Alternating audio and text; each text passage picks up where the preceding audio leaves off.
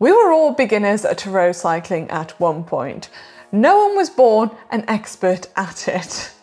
Do you remember how confusing everything was when you first discovered road cycling? The kit, the bike, the gears. It's not a simple sport like, say, running, where you just need a pair of trainers. But what are some of the most confusing things about road cycling? Let's take a look.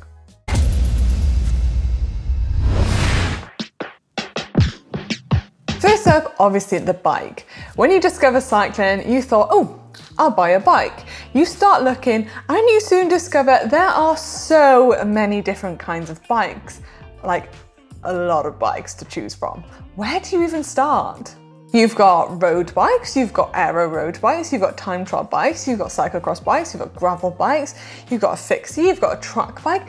There are so many. How do you choose? All bikes have different benefits depending on what discipline you do. Say, if you want to climb mountains all day, choose a lightweight bike. If you want to do 10 miles as fast as you can, choose a time trial bike. And if you want to look really cool, get a fixie. You want to think about the type of riding you're going to be doing and then go from there. And well, if you want to be an all-rounder and try a bit of everything, well, you're going to have a lot of bikes. But really, you can ride any type of bike on the road. That is a great thing about it. Geometry of bikes. How do we work out the size we need? And then it gets even more confusing when each brand's geometry is slightly different. Do I need a 51 or do I need a 56? I guess some brands have a small, medium and large. I guess that makes things a slight bit easier, but then I guess it's a little less accurate. Bikes are often measured by their seat tube length, but this does differ from brand to brand. Some may choose to do the top tube length from where the top tube meets the seat tube. How do you even begin to decide what type of tyres you need when there are so many different ones out there with so many different numbers on them? In professional cycling, tyres can be the difference between winning and losing. Professional teams will constantly be changing the tyres depending on the course and depending on the weather. Then you get to tyre pressure. How do you choose the exact right tyre pressure for you? And then you have different tyre pressure for the dry, the wet, different terrain. Another big topic here at GCN is rim brakes or disc brakes. What's the difference between the both? They both help you slow down and stop, but which one's better? With rim brakes, the stopping force is applied by calipers on the outer edge of the rim. And then with disc brakes, they move the braking surface from the rim to the rotor. Disc brakes haven't long come into the road scene, but you will see most of the professional teams using them.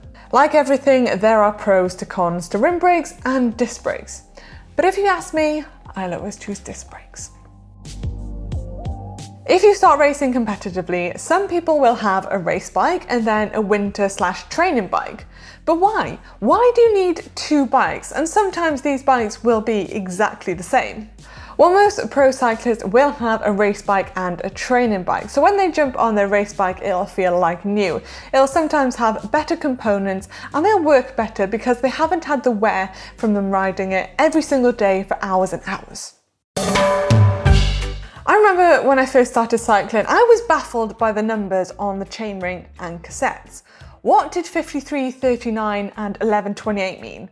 What was compact and semi-compact? Was anyone else baffled by this or was it just me? I soon learned that those numbers equaled the amount of teeth on the chainring or cassette. It all makes perfect sense now. Little secret for you, I didn't even like coffee before I started riding bikes, but now I just can't even start a ride without having a coffee. And if I'm meeting a friend for a ride, it would be rude not to stop for a cheeky coffee and a cake. It's such a cyclist thing, and I think that's what's so great about this sport. People from other sports must think we are so lazy. They probably think we spend more time at the cafe than we do riding our bikes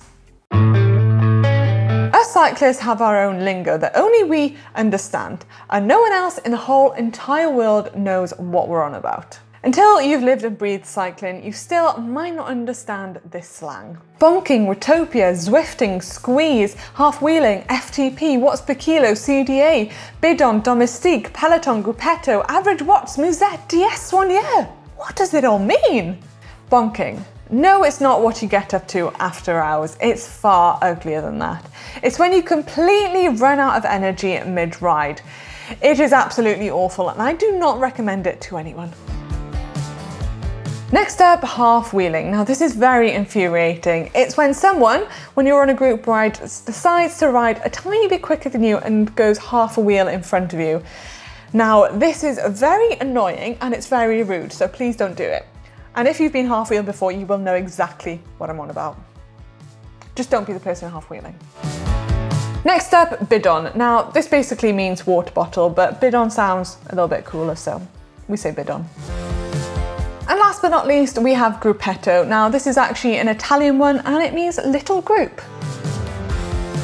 Another confusing thing about cycling is clipless pedals. Trying to get your head around, you have this cleat on the bottom of your shoe that you clip onto your pedal. And then when you go on your first ride with these new shoes and new pedals and you constantly panic every three seconds, what if I need to unclip and stop and I can't unclip my foot and I fall right over? I missed the beanbag. And then the fact that clipless pedals are called clipless pedals, but you actually clip into them? Hmm. And the most confusing one of them all, when you realise the price tag of that new bike you want.